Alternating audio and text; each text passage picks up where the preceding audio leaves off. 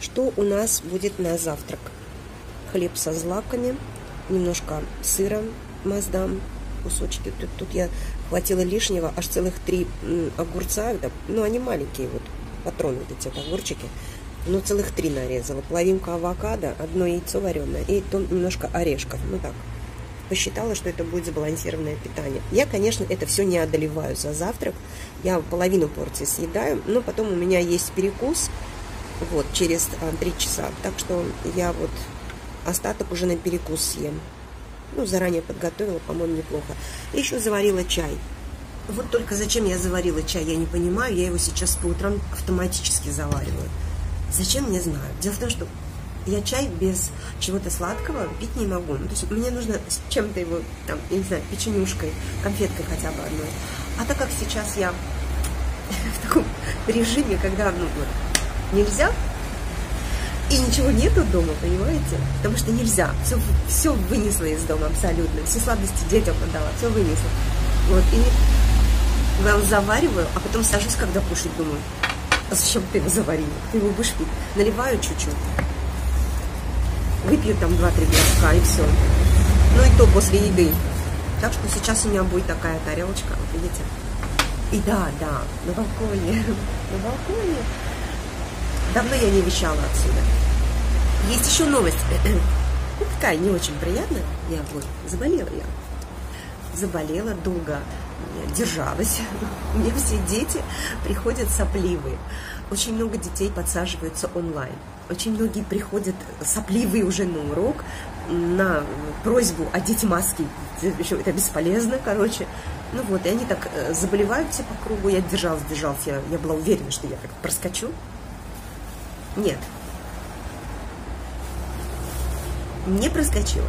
Так что я сейчас завтракаю, пью свои таблеточки. Мне приятного аппетита и всем, кто за столом, тоже приятного аппетита. Так, ну, декабрист хорошо, нормально. Таких поникших нету. Здесь вот гордыня свежие листочки дает. Приятно. Вот такие красивые, свеженькие. Вот, алоэ у меня, алоэ вера. Ой, идемте мы с вами проведем экскурс. Я же на самом деле, знаете как, э, ну, немного забила на свой участок, на свой дворик. Ой, ну в связи с чем, я вам сейчас скажу, в связи с тем, что я ходила, то сдавала анализы, потом по врачам, ну, все такое, и поэтому мне было не до дворика, я даже фактически не убиралась во дворе, но вот как-то так тепленькие деньки наступили, да еще же холодно было, а вот тепленькие деньки наступили, и я подумала, ну вот я сейчас выйду и тут перекопаю, все сделаю. И тут я заболеваю, понимаете? Блин, горелая называется. В общем, что мне пришлось сделать? А работы было на самом деле много. Мне надо было все перекопать, мне нужно было туечки свои из горшков пересадить, потом у меня вот здесь э, висели гиацинты засохшие уже вот эти луковицы. Мне сказали, что их нужно в грунт пересадить. Я давно должна была это сделать. Ну вот. Короче, мой дворик дождался работы, но мне пришлось вызывать помощь. Точнее, я ничего на самом деле не делала. У меня просто есть девочка одна, которая, если что вдруг, по тяжелой работе, она мне помогает. Ну вот в такие моменты, когда я чисто по здоровью не могу, она приходит мне помогать. Ну вот она мне пособирала листья, перекопала там все, посадила туечки. Вот я знаете что, от того, что я так в последнее время плохо относилась к своим растениям, они, естественно, мне дали ответку достойную. Вот у меня здесь была такая полянка цветущей герани. Сейчас это все такое убогое, жалкое. Клубничка моя тоже на меня обиделась. Ну, клубника такая, знаете, у нас говорят хаяссыска, да? Она, это как такая наглая, она все равно пойдет.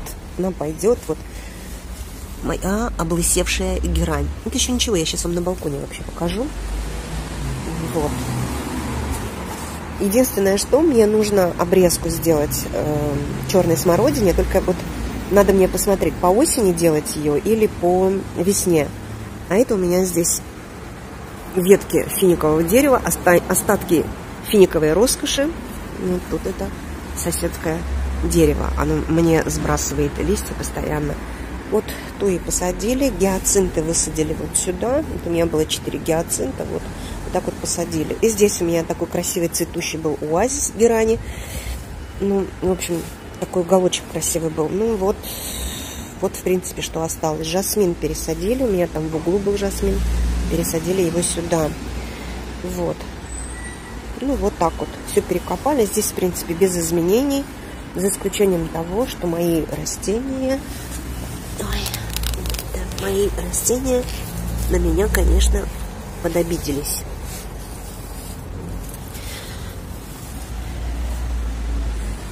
Ну вот. Как-то так. И моя пышная герань, посмотрите, во что превратилась. Видите? Ну вот вчера поудаляли все уже такие нехорошие ветки, уже листья желтые тоже поудаляли. Ну вот, как-то так. Она еще у меня, она еще меня радует при моем отношении к себе, еще меня как-то радует. А могла бы вообще сказать, знаешь что, иди-ка ты, как можно дальше с таким отношением к нам. Видите? какие у меня были пушистые кустики в горшочках, а теперь какие у меня залысины страшные. Ну, я очень надеюсь, что я больше так не поступлю. Ну, я на самом деле просто была занята вопросами своего здоровья.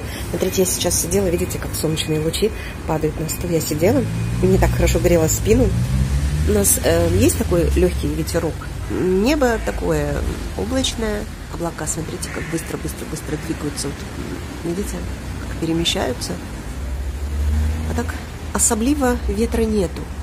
Вроде как не холодно, но такая переменная облачность вообще сегодня обещали. А нет, сегодня же пятница, правильно, да. Сегодня у нас вроде солнечно. А вот завтра, послезавтра будут дожди. И деревню Гадюкина смоет. Вот так. Так хочется в себя прийти быстренько. И... Ой, елки, забыли выбросить мусор. Ладно. Ой. Ну, в общем, видите, все. Нету солнечных лучей, только что были. Ну, вот у нас переменная облачность. Такая у нас с вами сегодня бакинская погода. Легкие колыхания, солнышко непостоянное такое, то есть, то нету. А я позавтракала, посидела, подышала воздухом. Сейчас зайду домой и буду монтировать видео. У меня тут э, случился такой казус. А табло на комби-аппарате у меня э, вышло из строя. Ну, не показывает правильные цифры, точнее, я не могу э, увеличить, уменьшить температуру.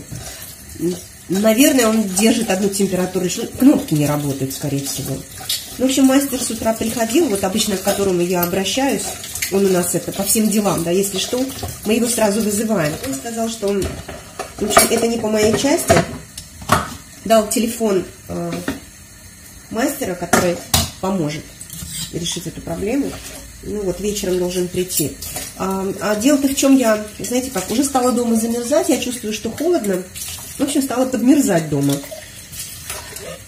Ну, решила включить теплые полы. Он не включается. У меня как-то э, зрители из России спрашивали, а что такое комби? Нет, почему у вас там два радиатора? У меня в каждой комнате два радиатора. На самом деле э, один радиатор чугунный – это государственное отопление, ну, э, централизованное, а другой э, – это уже частное непосредственно. Ну вот смотрите, сейчас у нас уже холодно. Дома, например, холодно – а нам централизованное отопление еще пока не включают. У нас там, с 1 ноября или с 15 ноября, я уже не помню, но вот у нас в это время, если что, сегодня у нас какой, 28 октября, у нас холодно. А холодно у нас уже неделю дома. Да. Я поставила чайник. А, хочу сейчас замочить полотенце кухонное в, в босе, в отбеливателе. Посуду помыли. Полотенце уносим в стирку. Тоже будем замачивать.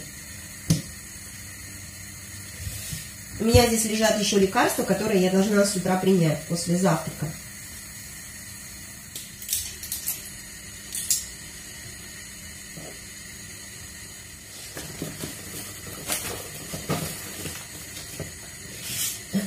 Скажите, как вы принимаете лекарства? Пишу такой список. Утро, день, вечер. Что до еды, что во время еды, что после еды. И вот так вот каждый раз, так, у меня сейчас обед. Так достаю этот листочек и смотрю. Ну, так всегда. Знаете, э, эта привычка, ну, этот метод говорит о том, что прием лекарств превратился уже в привычку. В обычное дело, понимаете? Ну, хорошо, что это пока у меня курс. Надеюсь, что у меня ничего такого продолжительного не будет, но пока это курс. Ну, по крайней мере, мне врач так сказал. Мне врач сказал, что я молодец, что я сумела понизить диетой и ходьбой свои нехорошие анализы.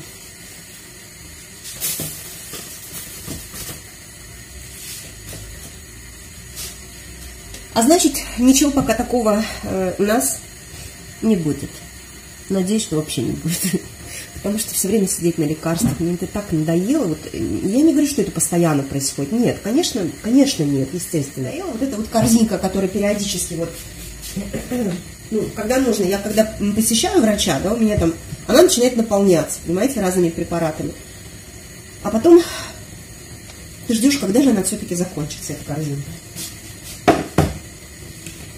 Все, у меня чайник закипел, пошли делать, делать дальше.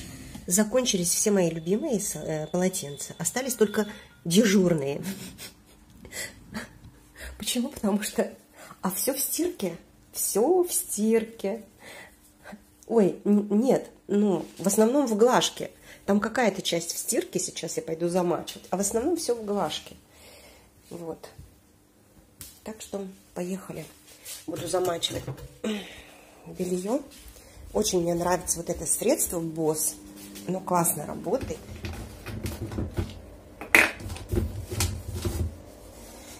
Удобно вот так вот пересыпать Босс такую емкость. Ну, вот есть такие емкости из-под молока, которые с ручками, да. Мне кажется, они еще удобнее. Ну, держать вот так вот удобно. Я сначала всегда его вот так вот кипятком развожу. Я, в принципе, даже воду не доливаю. Просто хорошенечко струей вот так помешиваю. Я, честно говоря, даже столовую тряпку вот так вот замачиваю. И, и вообще все подряд, цветные, не цветные. Я просто все туда отправляю.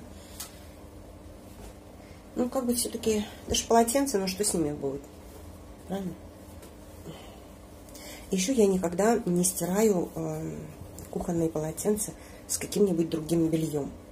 Потому что именно при стирке кухонных полотенец я не добавляю кондиционер. Поэтому всегда стираю отдельно. И лопаточка нам в помощь. Будем топить полотенце в отбеливателе. Нормально, хорошо, все. Все хорошо. Греет. Уже хорошо. Пол сейчас тоже прогреется. Мне только вечером надо мастера дождаться, с этим табло разобраться. Вот, и тут как раз я сейчас... О, вопросы ваши. Я вот что забыла. Точнее, не забыла. А, у меня был вопрос от Юли Румянцевой. Юляша, привет большой. Это моя тоже такая достаточно активная подписчица. Она у меня спрашивала по поводу тарифа на газ, на наш газ. Значит, Юля, смотрите, уж извините, что так ответ затянулся, но я как-то вот сейчас просматривала все вопросы вот в этой своей заветной книжечке. И э, вспомнила, что у меня там выписано, э, чтобы вам ответить на этот вопрос. Вот у нас на сегодняшний день составляет 12 копеек за 1 кубометр. Раньше это было 10 копеек. Но у нас, знаете, есть определенный лимит. Ну, вот в чем заключается этот лимит. Смотрите, если мы потребляем газ до 1200 кубометров включительно, то мы платим 12 копеек. Но если от 1200 до 2500 и там выше, там получается 20-25 э, копеек. Вот так вот. Я никогда не подсчитывала на самом деле, сколько я потребляю газа. Я никогда не вела эти подсчеты, потому что, знаете, как я, э, ну просто вот у нас же, у нас же карты, вот эти вот э, карты, ну представьте себе, как проездные билеты, да, допустим, на эту карту мы загружаем деньги, потом с этой карты мы через банкомат загружаем деньги, потом с этой карты мы э, в счетчик вставляем, и э, эта карта загружает нам, ну как бы ну, как это сказать, контуры, контуры на газ, вот, и потом мы расходуем этот газ. Хорошо сделать это вовремя, потому что если не успеть, то счетчик, когда газ заканчивается, очень часто счетчик попадает на код. Ой, а это тоже такая морока. Нужно идти, а, загружать на карту исключительно один монат, не больше. И потом с этого моната производить там некие манипуляции, чтобы э, снять с кода счетчик, и опять пришел газ. Сколько раз такое было, что я прям под самую ночь оставалась без газа, не просматривала этот момент, и счетчик попадал на код, утром стою такая, не, не, не поесть это самое, приготовить, не, не помыться, а просто умыться теплой водой. Ну, это дальше такое тоже было. Вот. Откровенно говоря, платить, просто платить деньги непосредственно э, газовщику, который приходит и снимает показания счетчика.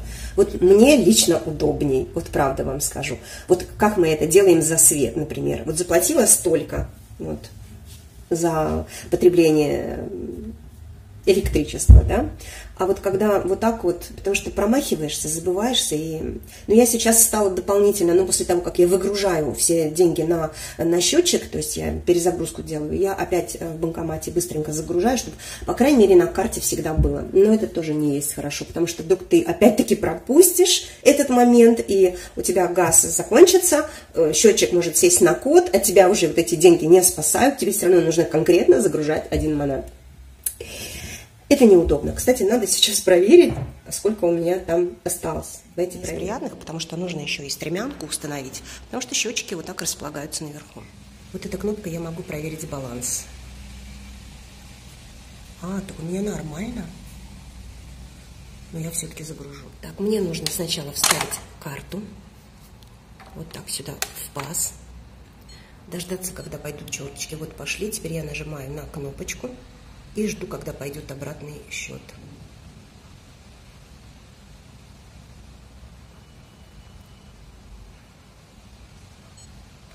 Все. И вот пошла загрузка.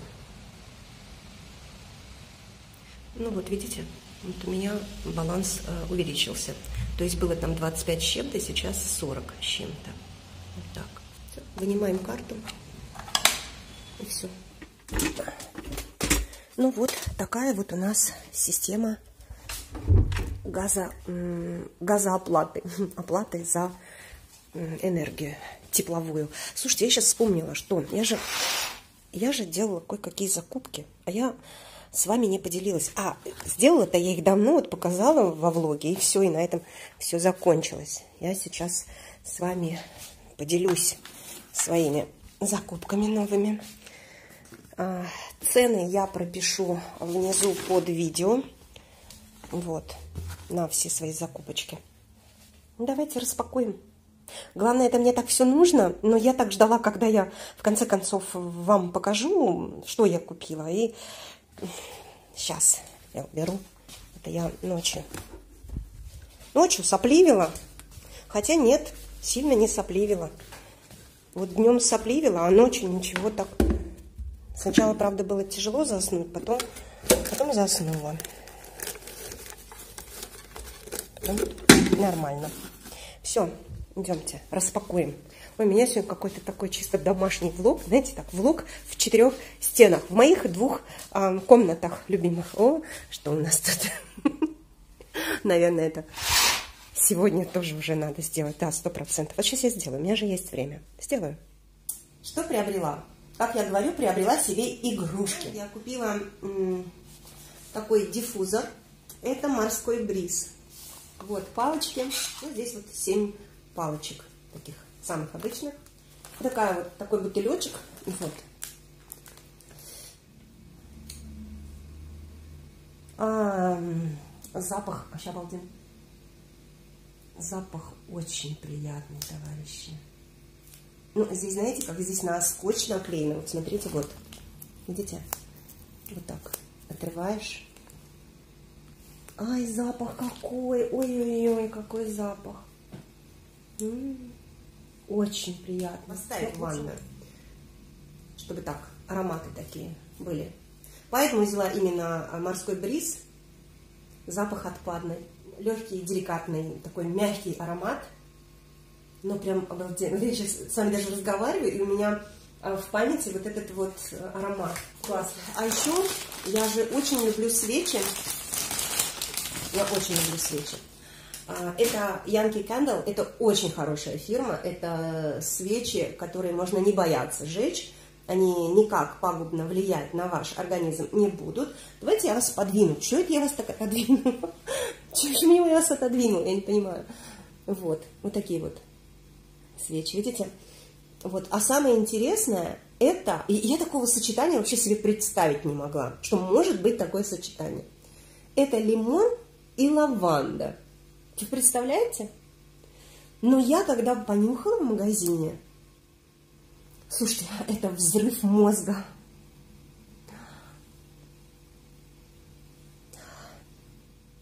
Слушайте, запах, аромат.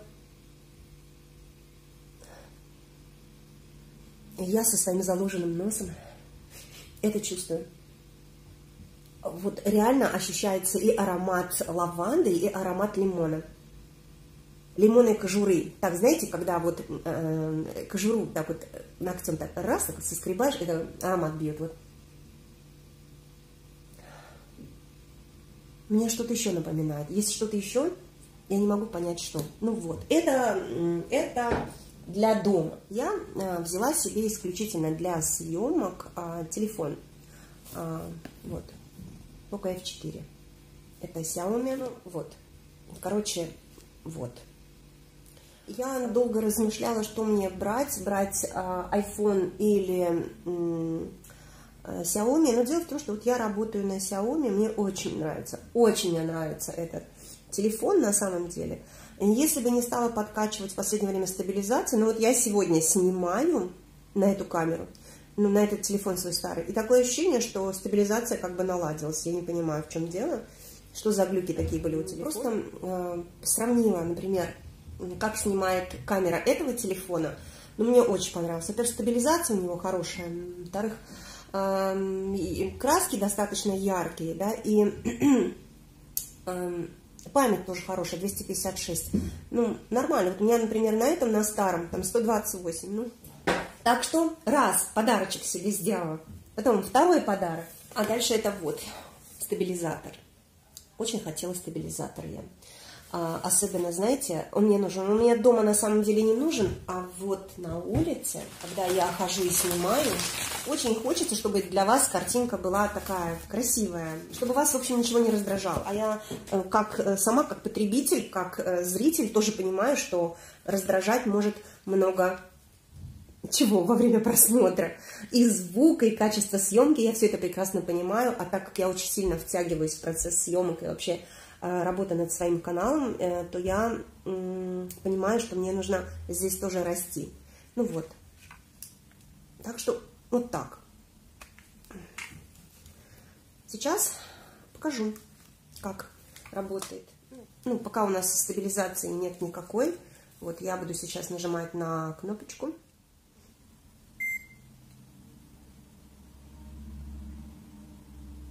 Hello. Так что Будем с вами гулять а, в парке, снимать, и так, чтобы картинка для вас была красивой. Мне нравится. Есть положения разные, то есть я могу, вот смотрите, здесь есть кнопки переключения, да, вот эта кнопочка, этот джойстик, он может поднимать камеру наверх, вот вниз опускает, сейчас поднимает наверх, потом вот так поворачивает, вот так поворачивает. То есть очень удобно, когда, например, ты просто фиксируешь какое-то положение и а, не делаешь вот этих вот движений, несмотря на то, что это стабилизатор, понятно, ну, тебе достаточно джойстиком работать, это очень удобно. Еще удобно, у него есть такая возможность, смотрите, вот, привязать его к моему штативу. И, пожалуйста, ходи по комнатам снимай. На самом деле очень удобно. Я очень рада, что приобрела эту игрушку. И здесь еще кнопка включения, то есть непосредственно мне не надо постоянно дотрагиваться до экрана, чтобы включать телефон. Вот, и я этой кнопкой могу включать-выключать. Ну, нравится. Нравится. Включаем. Вот. И еще последнее мое приобретение – это штатив. У меня э, есть штатив очень хороший. Он очень мне долго служил. Он просто отличный. Он работал со мной во всех условиях. Я и в лес с ним ездила, и на море с ним ездила. Я его и устанавливала прямо в воду, чтобы снимать волны. Ну, в общем, эм, это еще и на том, на первом канале я как бы показывала кадры. Эм, но я его так уже затаскала, что некоторые клапаны у него уже не работают, у него вот эта подъемная ручка отломалась. Но я даже по сегодняшний день все равно его использую. Я его выбрасывать не буду, несмотря на то, что он старый, потому что он очень высокий, и я могу поднять его буквально, ну, я вам сейчас скажу, он поднимается больше двух метров. Он поднимает, ну, смотрите, у меня метр шестьдесят рост, да, и я, когда его полностью, все ножки раскрываю, полностью все модули, и еще полностью вытягиваю, э, вытягиваю вот эту вот ручку, он еще поднимается по спирали наверх, я достать не могу до телефона, чтобы, например, его отключить или включить. Вот, ну, как бы, он такой массивный, хороший, я брала его тогда за 120 монат, брала я у нас в ЦУМе, вот, а это я взяла, взяла чуть поменьше, но это тоже хороший. Я так посмотрела, достаточно крепкий механизм, а, тоже хороший, но почему взяла, скажете, вроде как у тебя есть, когда я, э, например, снимаю какие-то кадры из кухни, и, и мне хочется, ну, например, готовку, просто болтаю с вами во время там, приготовления, мне хочется поставить этот штатив э, на столешницу, так, чтобы он был выше, потому что так удобнее, и э, как бы панорамнее съемка получается, когда он выше. Вот. А когда он низко располагается, понимаете, он как-то так локально просто снимает. И э, мой тот штатив от того, что он большой, он не помещается между столешницей и верхним шкафом даже в собранном состоянии, полностью собранном состоянии, он не помещается. Но мне очень хочется именно, понимаете, вот такие ракурсы делать. И я часто использую подручные средства, там, коробку какую-нибудь, допустим, а, коробку на коробку, потом еще, на чем сейчас у меня телефон стоит, на этой балашке, которая вроде как бы должна была за мной вращаться, э, когда я разговариваю. А, кстати, кстати, кстати, вот этот самый стабилизатор, но так как он будет работать э, с моим телефоном через приложение, вот, он также будет следовать за мной. У него есть такая функция. Я просто надеюсь, что от этого качество съемки не пострадает. Этот штатив, он поменьше. У него э, в собранном состоянии, по-моему, здесь 56, что ли, было написано. А мы с вами проверим, пойдем. По-моему, 56 но это тоже крепкий. У него абсолютно те же функции, абсолютно все то же самое. Он работает ровно так же, как и мой тот штатив, просто у него также здесь, эм, точнее так, у моего того штатива три клапана здесь, здесь только два клапана, то есть я могу вот вытянуть только настолько, видите, вот. А у того штатива еще вот столько. И плюс у него также есть подъемный механизм, Здесь вот эта вот ручка, которая там у меня отломалась, и я так подозреваю, да, что она вытягивается меньше, потому что тот у меня вытягивался достаточно сильно. Да, тот у меня вытягивался больше. Ну, тут вообще мощный был, обалденный. В общем, этот штатив, это такая не мини, но упрощенная версия, минимизированная версия э, того моего штатива. Вот. Хороший, я так посмотрела. Сейчас мне, знаете, что интересно? У меня там должен поместиться. Да, поместится, поместится. На столешницу должен поместиться. Еще должен поместиться телефон.